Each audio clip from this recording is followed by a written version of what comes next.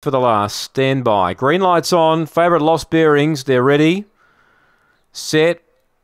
Racing. Lost bearings away safely out wide. Speed underneath from Razzleberries. Closer to the rail, Vativa. Then came Beasley and Rain on Me. Out wide. Here comes Lost Bearings. It hasn't got to the leader yet, though. Vativa's holding on. Lost Bearings trying to get it. The plunge is not going to come off. Vativa held Lost Bearings. Razzleberries got third. Fourth is probably Beasley. And Rain on Me last in.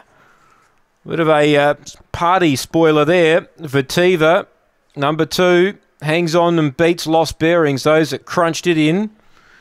And he never felt comfortable at all in that race because Vativa had a handy lead and Lost Bearings was taking an eternity to wind up. Two's our winner. Two from eight. Seven is third. They'll be in the frame in a moment. Should be 287. Vativa winning the last. Vern Anderson with the winner. No numbers in the frame just yet. Half a length by four and a half. The time is 16.97. Here we go. 2874. Take note. 2874 on the last event.